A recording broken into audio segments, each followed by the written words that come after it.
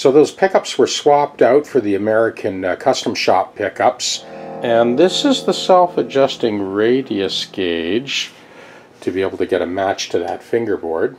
So that original plastic nut was removed and replaced with a bone nut. Jack, I have mentioned this in the past that, you know, for bass guitars, with the mass of the string and the minimum amount of displacement when you fret, I really don't bother with the compensated nuts on basses. But I'm going to do the tuning test and you can have a look at just how accurate this is tuning now. Right, I've tucked that self-adjusting radius gauge away in the custom 60s snapshot case.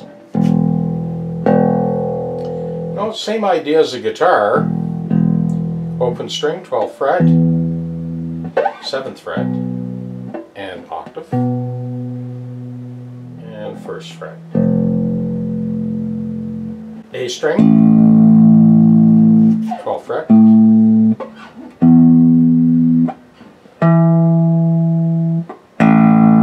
and 1st fret. D string, 7th fret, open, and 1st fret. And finally the G octave, seventh, octave, open, and first fret. There you go. And that's why I never bother with a compensated nut on bass guitars. New pickups are installed, the bone nut is done, strings are matched to the radius of the fingerboard perfectly, the truss rod is loaded, but we still have this trouble area right up the top here. So what you see there, and this doesn't show up until the bass is under full string load. So that top end, that big square block that bolts into the body, it is sitting proud in relation to the lay of the neck, the rest of the neck. Truss rod works perfectly fine. I just want to show you how I take care of this. So I have a single cut mill file, the same mill file that I mount on the blocks that I send out. But of course this is not mounted on a block. And we have a riser there in the way of a hockey puck to allow me enough room to slip underneath the strings and take care of that top end. So here we go. So I'm starting in the middle of the crown and then making my way towards the outside edge, moving obliquely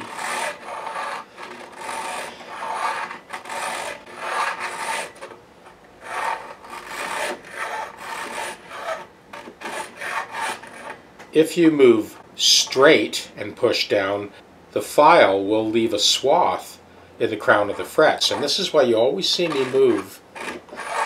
I'm moving along the string path, but I'm moving obliquely so that we don't leave that footprint with the file. And again, you know, this didn't show up. When you take the string load off and you eye the neck, straight edge or not, it looks perfect, but this needs to be addressed. This will allow him to drop the strings even closer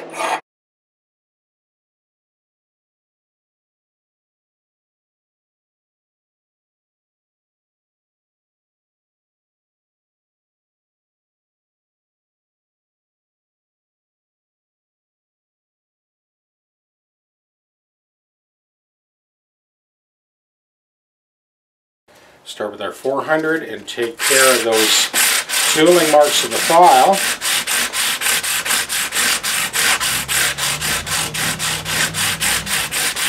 Pieces of 400 grit.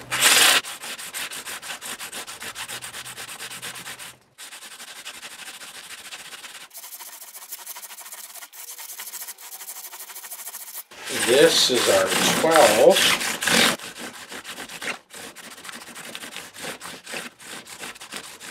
So at this point we're going to switch over and finish up that edge dress before we buff. Just before we get that buffer out to uh, buff those upper frets that we just leveled, crowned, and polished, I'm doing this edge dress first. so that when we do buff,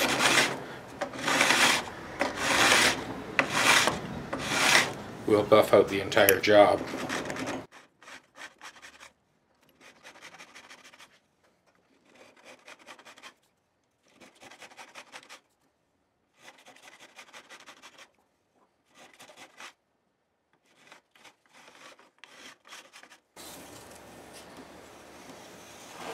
Doesn't need a lot, but the thing is, we've just been through a very humid summer. And so if they're sticking out already, by the time the heating season is in full swing by mid-February, March, these will be as sharp as razor blades. So we're getting them now so that they're not a problem later.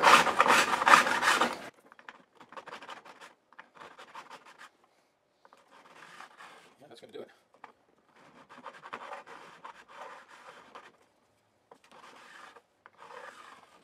Now with our cloth back 400 grit sandpaper, I'm going with a kind of clockwise and then counterclockwise and then straight along. And that'll soften that edge and take care of any potential barbs in the future.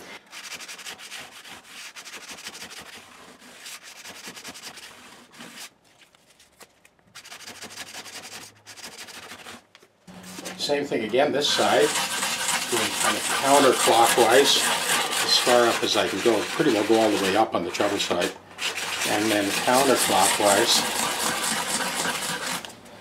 and then we just go straight along full length. You can see why you need the, uh, you really need the cloth back paper for this because your regular sandpaper will just get shredded. Okay, following that up with 600 grit.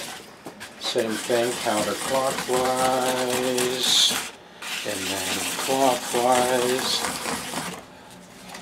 Move that along. And then and then straight along full length. So we're just getting ready to buff. I'm doing this edge dress before we buff so that we only need to buff once.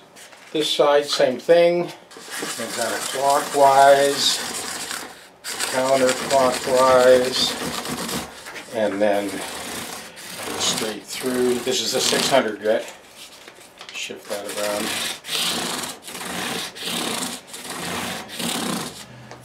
Get this top.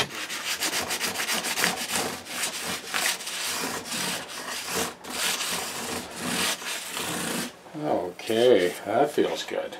Now we're ready to buff.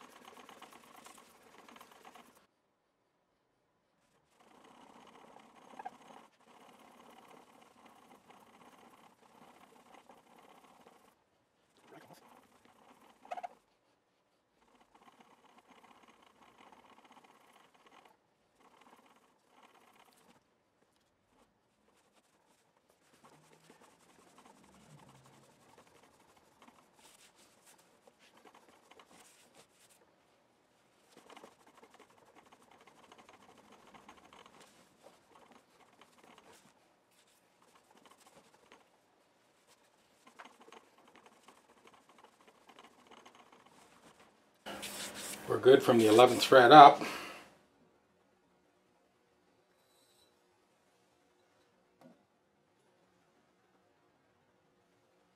So all I really did with this portion of the fingerboard was to edge dress and buff it out.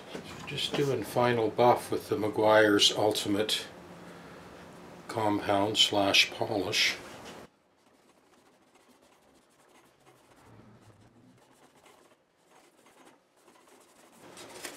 I'm going to do a little bit better than that factory finish, so I'm going over with the emery cloth, just side to side with the scrub block. And then I'll go over it again and buff it up. This will take out any grittiness. We come this far, I figure I may as well go full hog. Good. Give that a quick buff.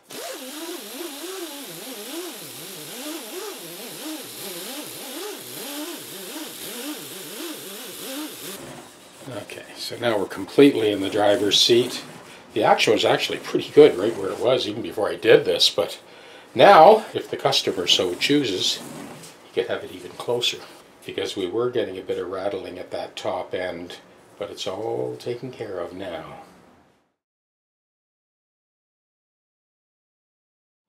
In order to get the maximum amount of height adjustment, we're going to need to pad this cavity. This is what came with the original pickups. So here's what I'm doing. I'm just putting that piece on top just to give us a little bit more resistance.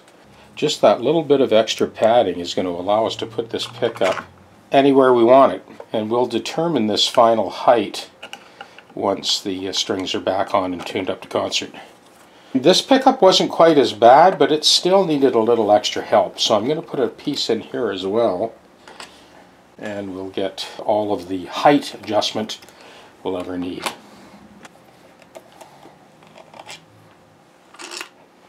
Okay, so same deal here.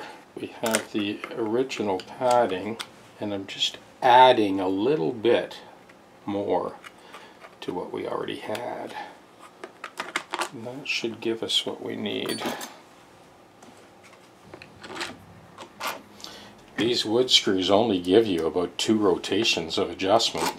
So this is our self-adjusting radius gauge. So when this thing is set up perfectly, no matter how lightly you touch each string, you'll see it move.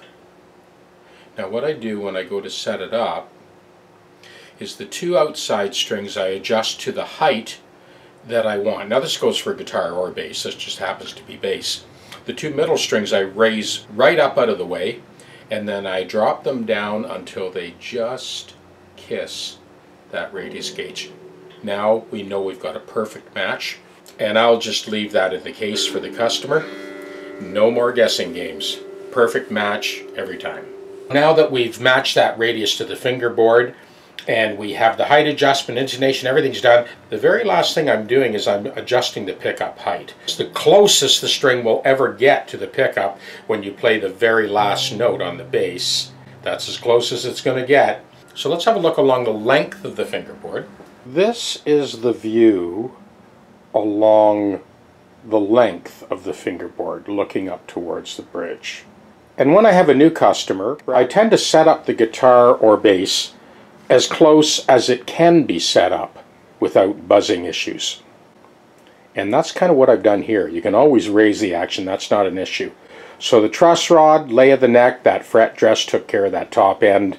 We've now got this bass playing super slick. And the distance here from the top of the crown to the underside diameter of the low E is three millimeters.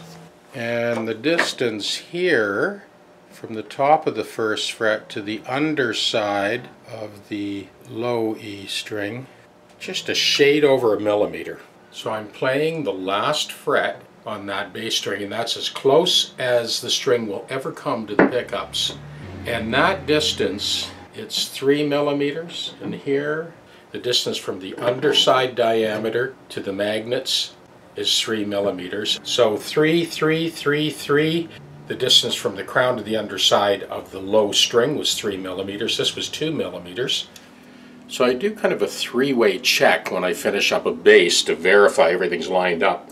First thing is my sort of intonation check. I play a series of chords.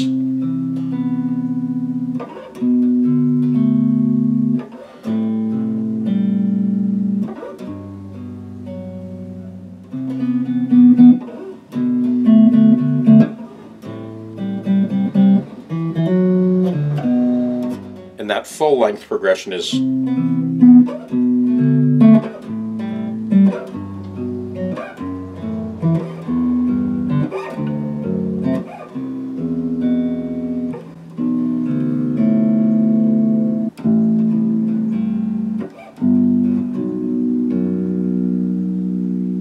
So do that again.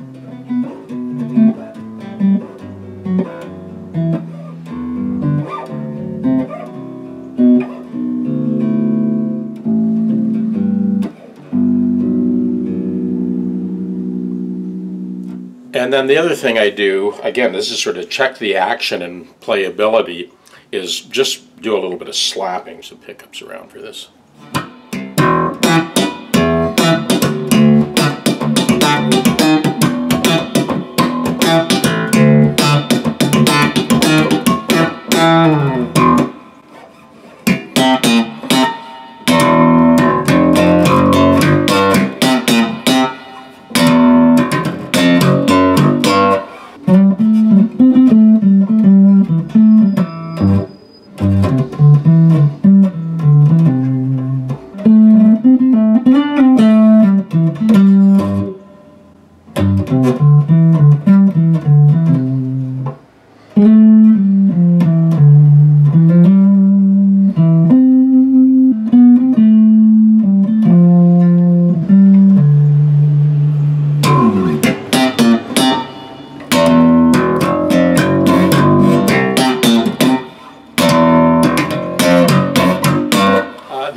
Like to do is just, I do a simple walking line. And uh, that one, I'll just bring the tone down.